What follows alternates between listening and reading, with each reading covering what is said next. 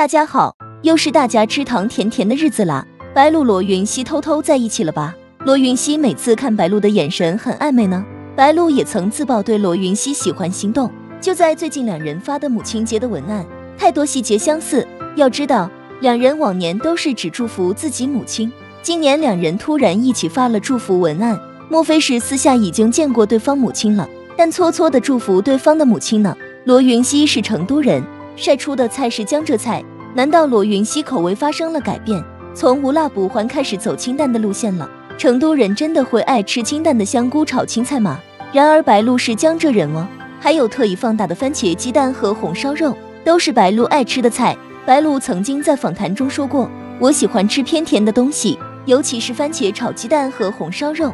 罗云熙特意的两道菜特写，对上白鹿的话，这不就是撒狗粮的节奏吗？而白鹿则给鱼和虾特写，网友表示鱼谐音云，虾谐音溪，正好是云溪。两人这是在暗戳戳秀恩爱，小心思不要太明显。不过罗云熙已经三十五岁了，如果能够带女朋友回家见母亲，罗云熙母亲应该会非常开心的。白鹿和罗云熙在有一次同框中，听到女生夸白鹿漂亮的时候，罗云熙就露出了自豪的笑容。当听到男生对白鹿喊我爱你时，罗云熙立马就生气了。两人互动的时候也是默契度十足，还直接用上了我爱你。罗云熙喜欢用小手指去摩擦着白鹿，这个小动作他也只针对过白鹿一个人，这不就是妥妥的偏爱吗？罗云熙还说白鹿非常符合他的择偶观。当然了，帅哥跟美女能成为一对，也真的挺好啊。祝福从蜜糖到长月烬明，就是从一见钟情到了日久生情的阶段。罗云熙看白鹿的眼神越来越拉丝，戏外的花絮也在亲吻，两个人难舍难分。拍完长月烬明四个月后。罗云熙直播中就提到元帅是和自己最像的，还当场唱起了白鹿跳过的那首《爱你》。整场直播下来，罗云熙像孔雀开屏了一般的雀跃。你俩不结婚真的很难收场啊！这边再看到最近比较火的侯明昊和周也，也是撒糖满满。虎星开播之后，侯明昊和周也多次连麦直播，因为剧播的不错，全程高甜，一直看嘴巴就合起来过，一直咧着嘴笑着看完的。从姿态上看。两人的确还蛮亲昵的，贴得近且一丝抗拒和生疏都没有，感觉私底下的关系应该还挺好挺亲近。在玩游戏恐惧箱那一段，都以为是真情侣了。大型让 CP 结婚现场真的非常好磕了。恐惧箱这段是这样的，两人的手在箱子里触碰了，也没有丝毫的尴尬和避嫌，反而是很自然的一直摸，就给人感觉他们似乎很习惯这样的状态。两口子就要整整齐齐的。侯明昊。一九九七年八月三日出生在北京，中国内地男演员、歌手。二零一二年加入韩国 S.M 娱乐有限公司，并成为旗下练习生。之后学校里还张贴了他的海报。两年后，侯明昊选择回国发展。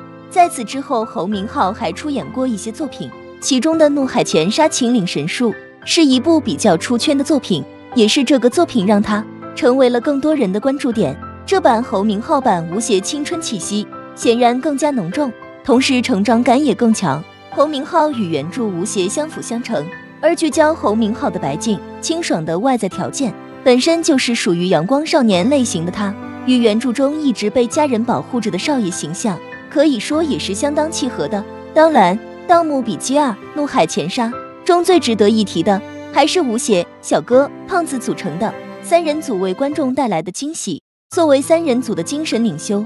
吴邪在三人组的有趣互动中，总是需要处于一个游刃有余的状态，而侯明昊对吴邪的演绎也是如此，有点小机灵，对一些建筑方面的知识很精通，颇有智囊团的感觉。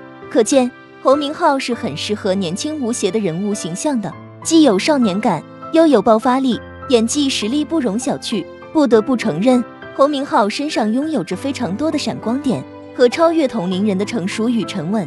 影视行业需要更多这样优质的潜力艺人出现，相信侯明昊终有一天能够实现自己的演艺梦想。周也二零一七年凭借《少年的你》中饰演霸凌少女未来，给观众留下了很深的印象，从此进入观众的视野。如今周也凭借护心实力圈粉，不少网友感叹到：这么好看的美女姐姐，应该早点来拯救孤偶，帅男靓女，这对于仙侠剧来说真的太重要了。两人的颜值可以说是业内 S 加的存在。侯明昊长着一张阳光帅气的面孔，再配上他清爽的五官，少年感一下拉满。尤其是他古装的扮相，简直太帅了。周也是真的很美，在他的身上总能看到一股破碎、倔强又清冷的劲儿，尤其是笑起来的时候，非常的阳光可爱。同时，两人都是性格很可爱的人，不管戏里还是戏外，对眼睛都十分友好。流量小生侯明昊搭档青春靓丽的小花周也，俊年靓女组合，几乎三百六十度无死角，怎么看怎么般配。两人合体还为剧中拍摄了一组海边大片。黑白滤镜下氛围感十足，网友直呼在一起，两个人的 CP 感也越来越好磕。